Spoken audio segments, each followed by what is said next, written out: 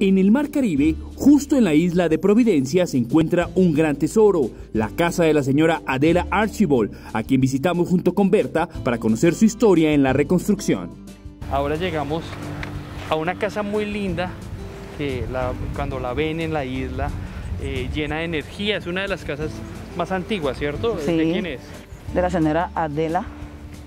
Ese es el sector de Smooth Water Bee. En español dicen agua mansa, pero nosotros preferimos llamar nuestros sectores por el barrio, eh, por el nombre, pero en inglés.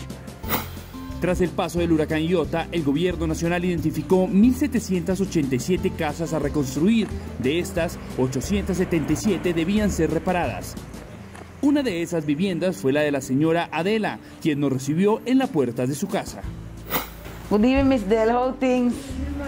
I bring this this guy here. Roberto Huertas del Ministerio de Vivienda. Queremos hoy conocer tu casa y qué ha pasado con, con estas reconstrucciones. ¿Nos lo permites? Claro que sí. Ah, bueno. No hay ningún problema. Siga adelante, por favor. La vivienda de Adela es una de esas que conserva la historia de Providencia, que guarda recuerdos y que parece ser una fotografía de postal que toma más valor con el paso del tiempo. Esto pudo ser rescatado gracias a las intervenciones realizadas por el gobierno nacional en esta bella casa color púrpura. Salimos en este instante de la casa de la señora Adel para ver eh, una de las casas precisamente más bellas que tiene la isla. Es una de las más antiguas, ¿cierto? Sí, señor. ¿Cuántos años tiene la casa?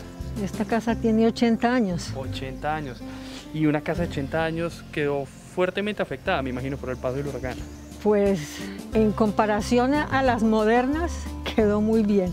La parte estructural, pues hubo un poco de, desnivel o hundimiento en una parte por la cantidad de lluvia, pero lo que es la, estructura en sí de la casa no sufrió.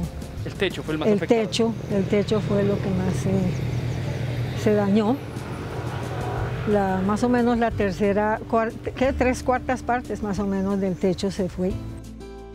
Gracias al trabajo conjunto de entidades como el Ministerio de Vivienda, Ciudad y Territorio, FINDETER, la Unidad Nacional para la Gestión del Riesgo de Desastres y las fuerzas militares, cientos de familias se han beneficiado por la instalación de cubiertas en Providencia, lo que le ha devuelto la tranquilidad a los hogares de la isla como el de Adela. Esta casa le dicen, los muchachos le dicen las siete aguas, así es como la conocen acá, porque por el estilo de la, del techo. ¿no? Ahorita viendo su casa, ¿qué ve? ¿Qué ve después del paso del volcán No, la casa está bastante, bastante bien. Eh, la intervención fue bastante bien. Un año después del paso de Liota, Adela puede estar tranquila en su misma casa, esa que la vio crecer, en la que en cada rincón tiene un recuerdo invaluable y en la que en medio de sus jardines y de su huerta recuerda los mejores momentos de su vida. Esta casa es herencia de mi padre, es hecha por él y pues es, es para mí es un tesoro.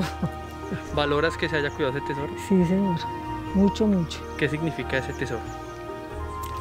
Significa pues toda la, ¿qué te digo yo? El, todos los recuerdos de niñez, de juventud, de todo, de toda mi familia, de toda la familia. ¿Reposan aquí? Sí, señor. Pues oye, muchas gracias, muchas gracias por dejarnos venir a ver esta casa tan bella. Con muchísimo gusto. Nos despedimos de Adela no sin antes admirar su casa por última vez. Continuamos este recorrido que nos llevará en la próxima visita hasta Santa Catalina, donde conoceremos más historias de la reconstrucción. Ministerio de Vivienda, Ciudad y Territorio, 10 años. Un ministerio joven, pero grande.